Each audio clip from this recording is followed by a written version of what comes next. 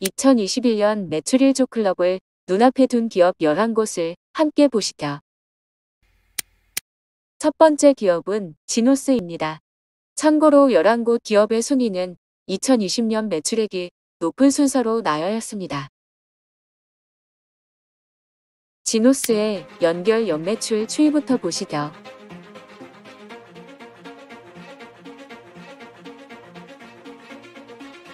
영업이익과 함께 보시죠.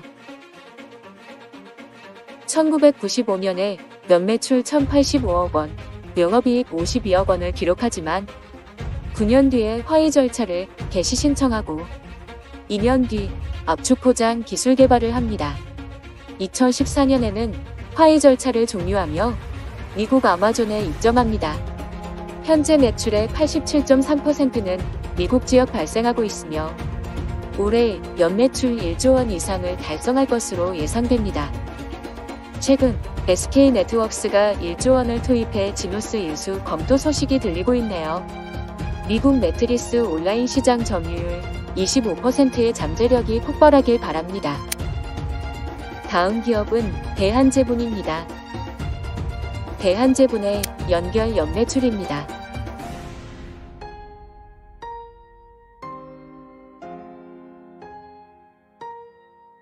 영업이익과 함께 보시죠.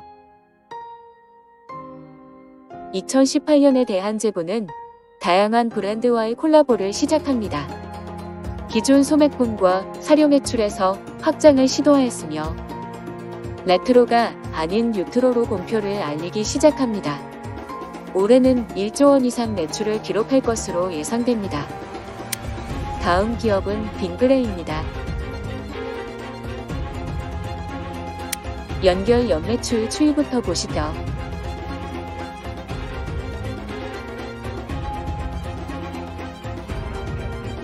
영업이익과 함께 보시죠.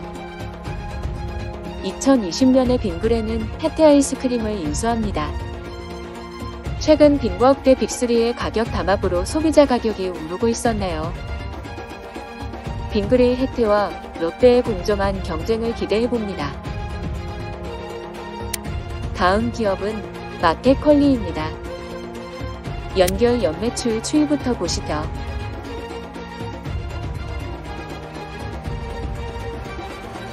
영업이익과 함께 보시죠.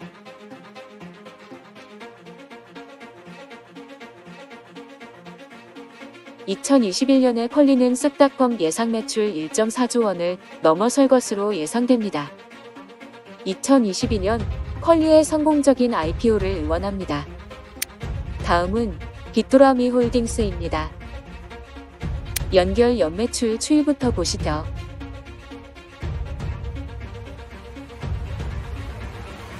영업이익과 함께 보시죠. 2006년부터 2008년까지 빅도라미는 냉방공주 3사인 범영냉방, 신성엔지니어링, 센츄리를 인수합니다. 2020년에는 이들 냉방공주 3사에서 그룹사 매출의 48%인 4,500억 원의 매출을 기록합니다. 사업 다각화로 성공한 깃도러미가 이번에는 낮은 점유율로 고전하는 글로벌 시장에서 사업 확장하길 응원합니다. 다음은 깃도라미의 경쟁사인 경동나비엔입니다. 연결 연매출 추이부터 보시죠.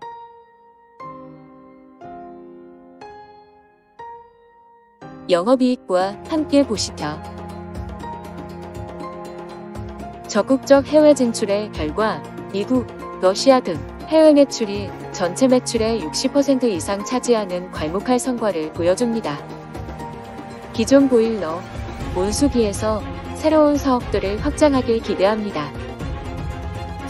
다음은 SK 렌터카입니다. 연결 연매출 추이부터 보시죠.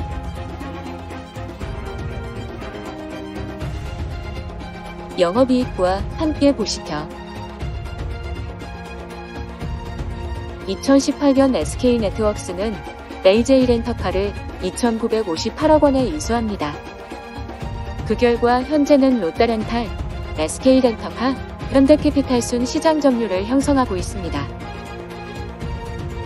SK 네트웍스는 기존 동양매직과 AJ 렌터카를 인수하고 내년 지누스를 추가 인수한다면 구독경제 시장의 최강자로 등극할 것으로 예상되네요. 다음은 카카오뱅크입니다. 연결 연매출 추이부터 보시죠.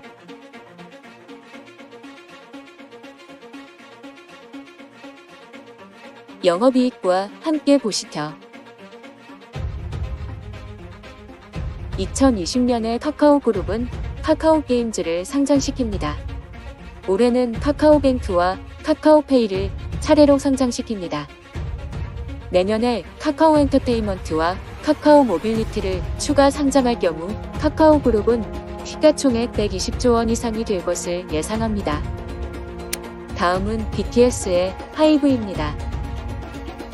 연결 연매출 추이부터 보시죠.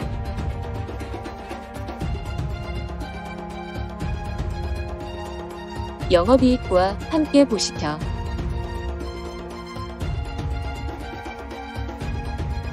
(2021년) 하이브는 이더코홀딩스 LLC를 100% 인수합니다. 다음은 위니아 딤체입니다. 연결 연매출 추이부터 보시죠.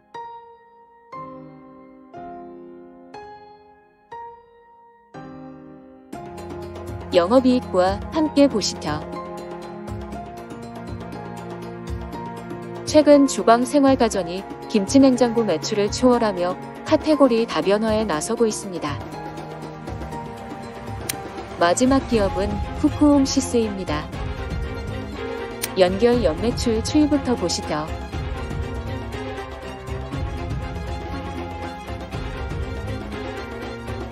영업이익과 함께 보시죠. 올해 쿠쿠는 국내 계정 200만 개와 말레이시아 110만 개의 렌탈 계정을 유지하며 안정적 성장을 하고 있습니다. 11개의 회사의 매출을 한 번에 보시죠.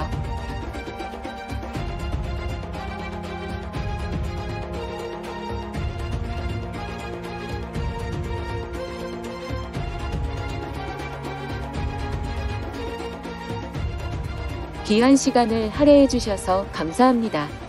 구독과 좋아요는 큰 힘이 됩니다.